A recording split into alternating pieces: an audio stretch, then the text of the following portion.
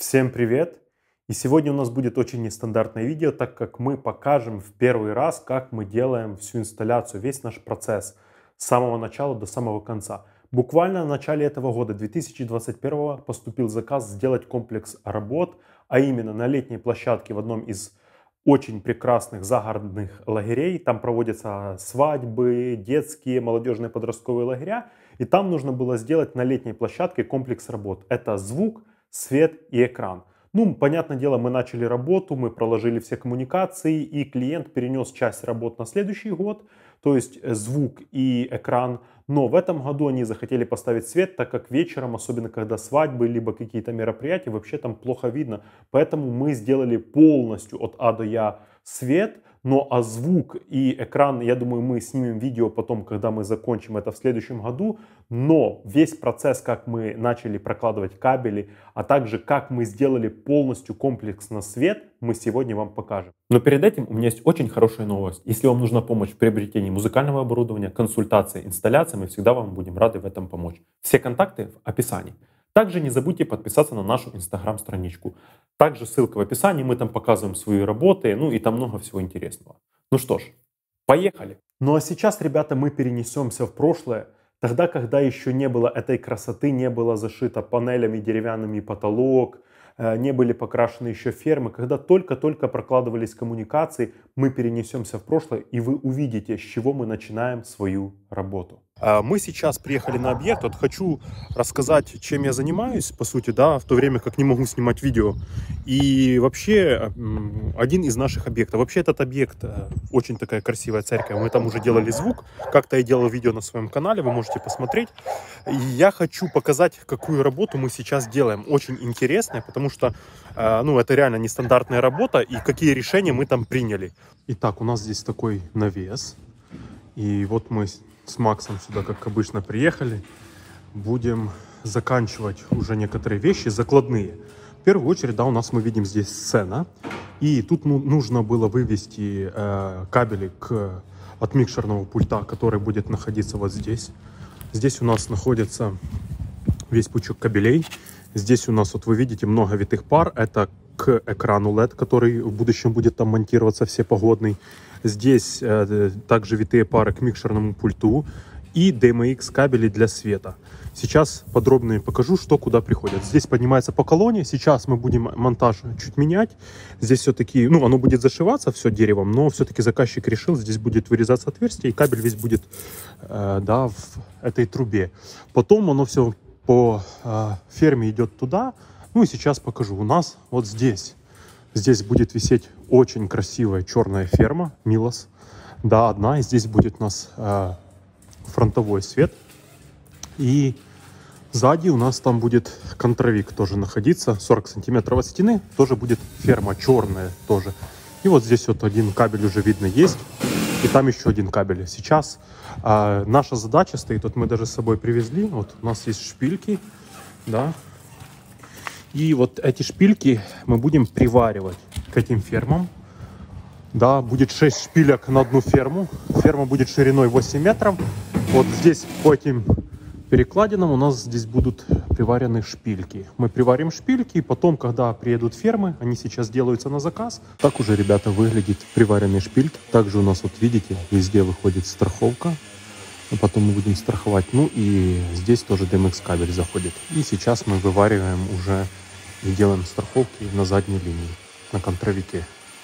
Знаете, ребята, что самое обидное? Что буквально на следующий день эти шпильки все нам срезали. Почему? Потому что они мешали деревянщикам, которые подшивают потолок. Но самое обидное то, что они не позвонили, не сказали, ребята, они нам мешают, давайте что-то придумаем. Либо не просто, не полностью срезать, а частично срезать их. Они просто полностью срезали, и мы случайно заехали дотянуть еще один кабель и увидели, что шпилек уже нету. Было очень обидно. И знаете, это говорит об одном. То, что не налажен процесс работы. Бывают очень классные объекты, и зачастую нет человека, который бы держал бы все на одном плане, в одном проекте. И мог бы сказать, здесь одно, здесь второе. А то ты приезжаешь, электрики то отрезали, либо светильники висят в этом месте. Ты рисуешь, ты э, показываешь разметку, где что будет. Но все равно бывают сбои. Но это стройка, это нормально. Но главное всегда находить выход, а он всегда есть. Хорошо, вот у нас идет сцена. Э, да, мы вывели кабель один, то, что я говорил, свет один сюда, один сюда. И также один у нас э, выходит где-то здесь. Здесь, да, у нас выходит еще один свет DMX э, кабель для того, чтобы можно было потом подключить приборы, которые будут на полу. У нас будет сплиттер там стоять, и, в принципе, все основное оборудование будет там. Сюда у нас заходят все кабели, вот весь этот пучок, особенно витой пары, все сюда заходит.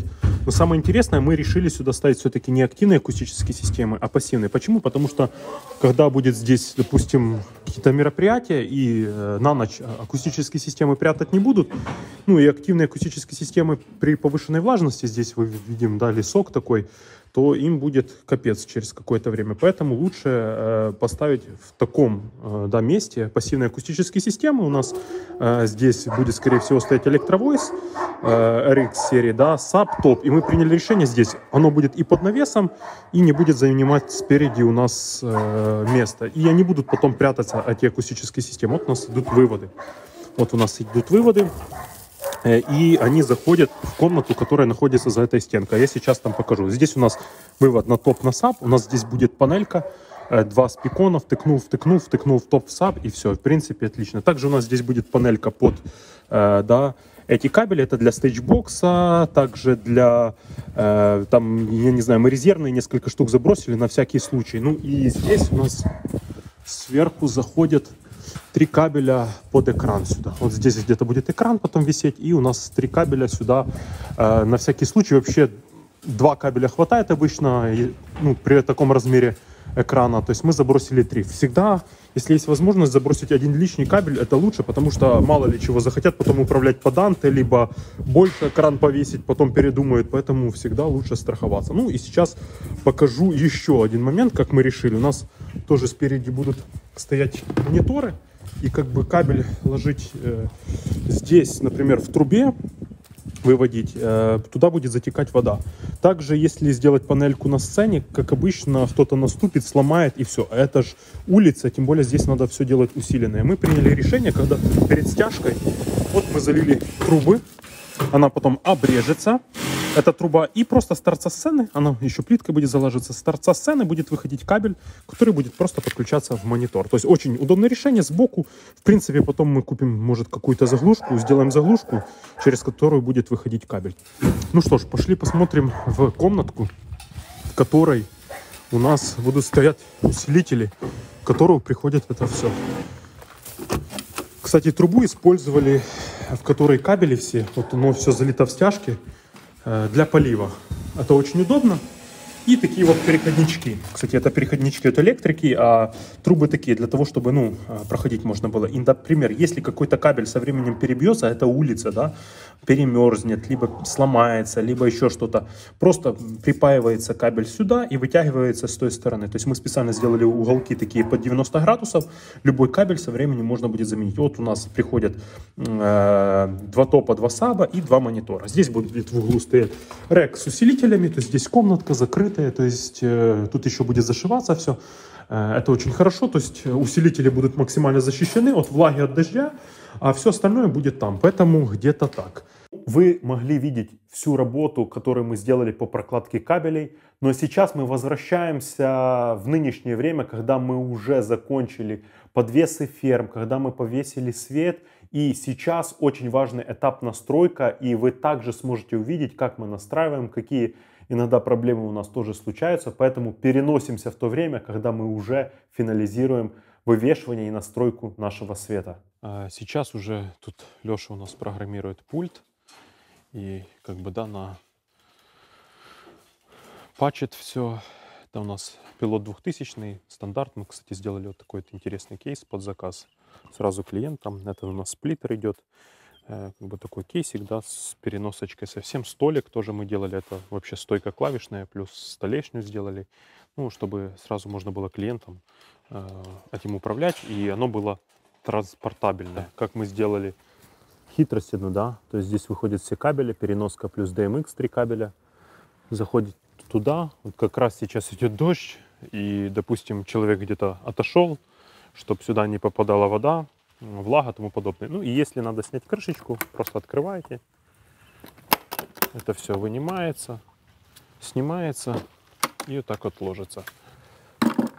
Также хотел показать, здесь у нас стоит сплиттер, нам делали на заказ его. Здесь три выхода, закоммутирован сплиттер с пультом. Ну и здесь переносочка есть, да, боком лежит. То есть можно еще, не знаю, зарядить телефон и тому подобное. То есть это мы сами разработали. Плюс эту досочку нам сделали.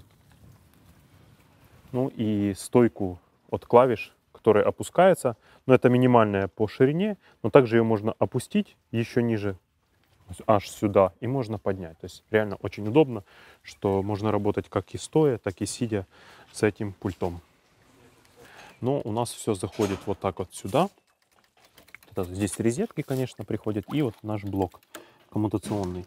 У нас единственное не было всех крышечек. Сейчас потом приедут, мы еще сделаем заглушки, да, такие резиновые, чтобы потом ну, можно было закрывать и сюда не попадала влага и тому подобное. Здесь у нас э, да, 6 изернетовских входов. Э, да, для чего? Для стичбокса три штуки у нас идет на всякий случай и э, на LED-экран как бы, который будет в будущем устанавливаться. И так вот, да, здесь сверху 3, здесь есть 3. Ну, а это у нас э, для DMX кабеля. У нас вообще э, э, идет сплиттер, мы здесь решили поставить, и у нас идет вот, первая линия света, да, вторая линия света там, и третья выходит на сцене. Ну, если в будущем захотят ставить приборы на сцене. Сейчас мы будем использовать только две линии, первая и вторая. И как бы для чего мы проложили три линии, можно было, в принципе, все параллельно закоммутировать. Но вдруг, если что-то на этапе стройки перебилось, либо еще что-то, у нас всегда есть возможность со второй фермы перебросить на первую, с первой на вторую, э, также где-то опуститься, либо подняться. То есть лучше, когда есть несколько кабелей для страховки. Ну, дальше сейчас перейду. У нас вот здесь фермы мы установили черный милош. Вообще изначально у нас мы приварили Э, шпильки. Потом, когда монтировали доски, они мешали, они поотрывали их. А мы все-таки положили поперечные металлические трубы профильные тоже, двухмиллиметровые, квадратные, да, и уже к ним крепились там. То есть как бы идет так сверху тогда труба одна, там, вторая, третья лежит на металле, и она как бы держит ферму. Ну, э, для этой нагрузки, в принципе, нормально. Плюс у нас на каждой точке здесь раз, два, три есть страховки. Три страховки на ферму, как бы, да, чтобы ну, мало ли чего, э, да, где-то что-то лопнет, либо морозы, либо кто-то повесит что-то ну, большее, чем нужно. У нас мы можем видеть, даже там есть вот э, страховки висят.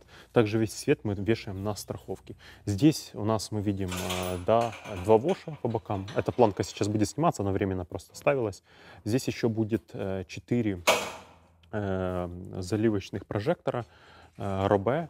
Они сейчас едут. Вот это единственное мы сегодня не установим. Здесь будет установлено 4 прожектора, которые будут делать заливку. Для контровика мы тоже выбрали э, такие планки IP-шные, ну и головы. Да, 4 штуки здесь и э, две здесь. Ну, понятное дело, что можно было бы и больше повесить, но для тех задач, которые здесь нужно, этого достаточно. Ну, сейчас Макс там монтирует все. Э, что мне не нравится, да, как бы не нравится то, что мы здесь выводили кабели под звук. Вот здесь вот.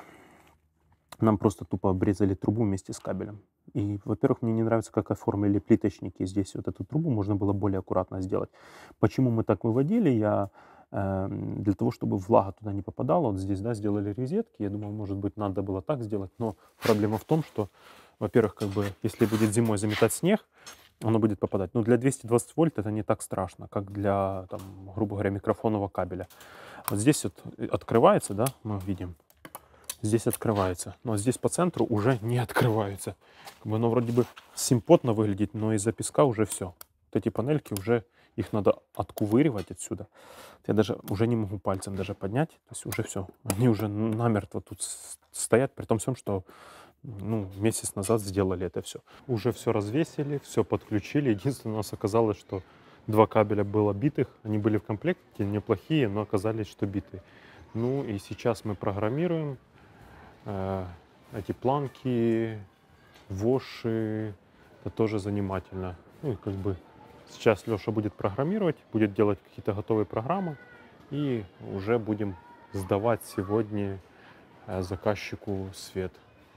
Но выглядит неплохо. Единственное, мы хотели расположить вот эти планки в один ряд, но не смогли, так как э, по расстоянию подходит, все влазит, но из-за сварных да, перемычек не все планки влазят, плюс нам надо было уместить э, воши, то есть это максимально, как мы смогли сделать. И если присмотреться, не идеально все ровно висит, то есть там есть чуть смещение вправо-влево планок, и вошев. И еще причина вторая, потому что здесь ферма 7-метровая.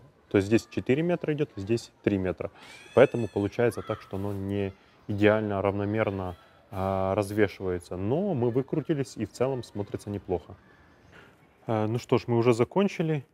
А, да, мы уже подключили, настроили пульт.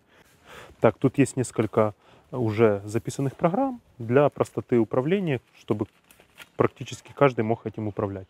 Ну и вот если посмотреть, ну это так чисто э, сейчас э, простенькая программка, там зеленый цвет, э, бегущие головы. Также сейчас, пока мы ждем э, робе заливочный свет, у нас э, два воша работают как заливка белый свет сюда. Понятное дело, немножко недостаточно, но это лучше, чем э, ничего. И еще будут четыре прожектора, поэтому будет очень хорошо.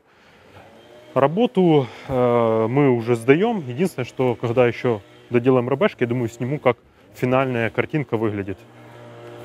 Ну что ж, вы могли видеть весь спектр работ, которые мы делали от самого начала до самого конца. Понятное дело, что мы показывали только фрагменты, не всю работу, потому что не всегда была возможность снимать видео, время, а также очень часто ты приезжаешь на объект, тебе нужно привезти какие-то шпильки, болтики, трос, еще что-то. Нет времени заниматься этим, но э, основную информацию мы вам показали. Также э, вы не могли видеть на тех видео, как уже смонтирован свет роба, но вы сейчас можете увидеть.